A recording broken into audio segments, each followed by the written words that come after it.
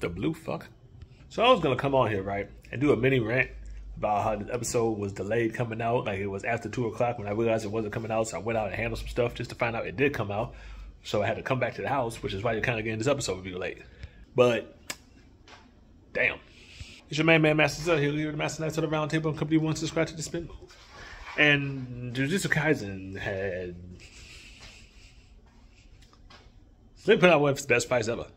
But I'll be the first to admit this fight wasn't as flashy as like a, the fight Mekahara we had with Mahito. The animation wasn't exactly as detailed as uh, Nanami whooping dude's ass last week. Not only was the animation slick as hell right here on some Akudama Drive type shit, this was a lot this was a lot more saucy than we normally get, y'all. Sometimes giving you more sauce to me isn't a bad thing.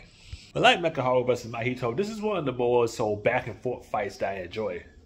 While flashy one-sided beatdown is great for shock value, it doesn't guarantee to go down in the history books. Vegeta. But this fight occupying the entire episode, besides Salmon Homie right from the beginning, to the point where Koso, Koso, Koso, Koso, I'm saying his name wrong this entire review. I am. He showed up his blood configuration, and basically he was showcasing that power in the beginning to the point where Itadori had to get help again from Mekaharu to used to pretend of him talking to him to get to the restroom. Turn the tables, at he's making a level playing field, presumably, so they just go back and forth punching the hell out of each other, just fighting man to man. To the point where power is getting involved again. That power of course, curse energy and curse sorcery. Get involved again, just to then, right after that, get back into it with more. Mm. It's just these kind of fights that I like that's able to elevate themselves further, but each character able to elevate themselves in their own ways just reaching to that eventual climax to a point where honestly you're at the edge of your seat, not knowing who's about to win this thing. While we have indeed passed the halfway point, this isn't the second time Jujutsu Kaisen Season 2 has brought this kind of energy with amazing animation to back it up. If any Jujutsu Kaisen haters is there to be found at this point, it's on site. Y'all might have to renew your anime cards or like take a test to get back in the community or something, man. Cause like y'all hating on this. But let's get into it for real. Honestly, thanks to the narration behind everything, trying to explain the blood configuration shit, I understand this is not the only show that does this, but every time something like this happens, it just reminds me of Hunter Hunter. Even though the way he was doing his blood things here is really just some dead man on Wonderland type ish. Except he wasn't really shooting guns, he was more like a laser. This guy was able to shoot his guns, whip it around, punch with it, all kinds of stuff. Harden it into weapons. Bro, this guy made you ask yourself what show you in for real. And we know Itadori ain't no slouch, but eventually, man, like the upper hand was obvious. To the point, like I said, Mekahara had to chime in, and he was still dodging attacks while this was going on.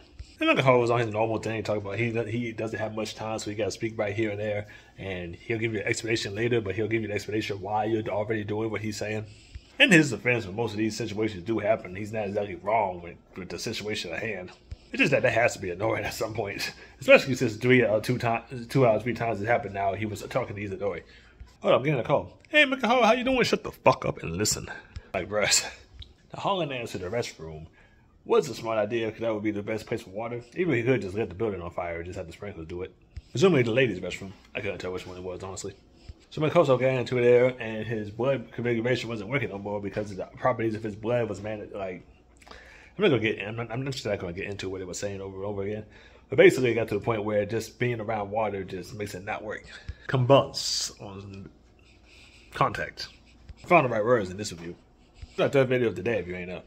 And one of the moments where, like I was talking about earlier, with this being a very much back and forth fight, this is more which Jujutsu Kaisen fights kind of shine because let's keep it 100. In most cases, in most shows, it would have been over by now. To the point where his big special technique did not work, and he was also, also was pointed out for him that his combat skills are not are kind of limited, and he doesn't have much combat experience. This would be the moment where he can't use his blood configuration or his curse energy the way he normally uses it, and either though he just goes in there and just beat his ass. Because this is Jujutsu Kaisen, it's simply not that easy. And the fight was on, and the cinematography of this fight was all over the place. Like, they just, so many different angles, so many different, bruh. The guy was jumping around, hopping over the place, hanging on bars and stuff, moving. Damn, man. This is one of the shows you cannot multitask. You gotta glued to the screen you're gonna miss every single. I believe the point I made earlier is indeed a valid point because at the same time, thinking that you already wanted to fight is the Achilles heel here. Overconfidence. That because if you face this guy complete melee one on one hands doesn't mean you couldn't beat him. It's just the fact that you thought you was there. Because you stopped his technique that was beating you earlier doesn't mean he didn't have anything else up his sleeve. The blood he was hitting you with was already shot out, and then he was hitting you while the blood was out. All you had to do was focus his curse energy on the inside, get his weapons and attacks ready, and then hit, hit it the second he was ready to use it. Well, that don't combust that fast, motherfucker. And it leads me to the small, it's, a, it's just a small critique I have. And it's going to sound kind of hypocritical because of what I said about the back and forth fight. But when the moment happens, and he shot into Itadori and hit his liver, and Itadori even missing himself that he hit something, something vital, something that he needs. That Mr. Corso crushed Macaharu here. So yeah, that, that that's that's that's it for that man, huh? But upon this happening, not only does Itadori go right back into the fight, it's almost as if it didn't happen. Don't get me wrong, I'm glad that wasn't the end of it, but it's not like it hindered him or anything. It's just like maybe it put like a time limit, a time counter on him in the, in the background, I guess. But yeah, it kind of just went on about it. The fight just like whatever. I mean, sure, you don't have to tell us that the liver is important and that getting shot in the liver is bad. However, if you're gonna make a big deal out of something, make it a big deal. But anyways, they get back into the fight and get to the point where though he pretty much has the fight won. He's going for his big grand punch. Here's the thing about that big grand punch. He's yet to actually do it. The clever guy, not necessary.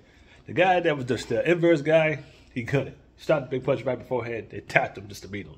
Here, he was straight up blocked. Quite frankly, even with the water going and everything, he just hit himself a blood, a piece of blood armor underneath his clothes. This is the point where you have to say, you underestimated this man. One thing for Carlson to have his blood manipulation messed up because of the water. It's another thing for him to find another way to use it and just use it real quickly before the water messes him up. But for him to hide the blood, hide that underneath his clothes so the blood doesn't get wet, so he can use that as armor. That's not something you just start off in the back of your mind. Not to mention, since Itadori did take out his brothers, he knew well of Itadori already and prepared himself for this. It's like he he was just simply ready, using this opportunity to take out Itadori, thus winning the fight. I said a lot about Kugisaki last week. I said a lot, maybe justified, maybe I said a lot. I did, I did. But Itadori losing here is kind of like, hmm. That's, there's two of y'all two out of three of y'all at this point. The reason why I was downplaying Kugisaki a little bit last week because she didn't prove herself to be on the same level as the other two. However, maybe she is. But Buchigoro, don't don't get bummed out here though. That dude dad is admiral.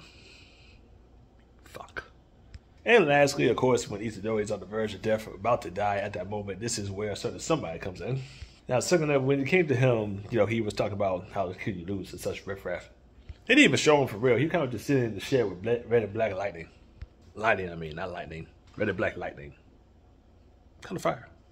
But the point where Kozo was having migraines and stuff, holding his head, drowsy, like he was drunk and high at the same time, crossfaded that shit uh, having memories that didn't exactly happen, as in Itadori being his brother in some old school 80s type. I, I, I just don't know. I, I was there like, what the fuck am I watching? It was one of those moments I was just like this. I couldn't tell you. I could say that had something to do with Sukuna I, I, I couldn't. I couldn't tell you. Speaking of, those two girls going to Itadori afterwards, just checking on him, making sure he's still alive, which they confirmed that he is. Now I'm to let next week tell that story as well. The fight was dope as hell. What happened afterwards is above my pay rate. But yes, ladies and gentlemen, this indeed goes down as one of the great episodes. Mappa did his dang all over this animation. And quite frankly, despite what I said at the beginning of this video, if the delay had to happen to get something like this, by all means. You ever watch this video, leave me a comment. I don't know what you think. Like this video for me, and I'll see y'all. Peace out. Subscribe to the Spin Move. Mm -hmm.